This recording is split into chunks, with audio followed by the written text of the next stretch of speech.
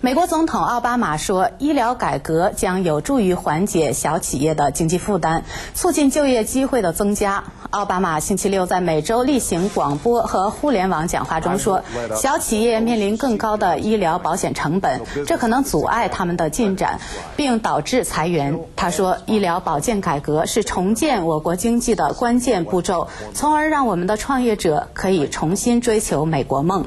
奥巴马总统说，医疗疗改革将允许小企业以更低的成本为雇员提供更好的医疗保险。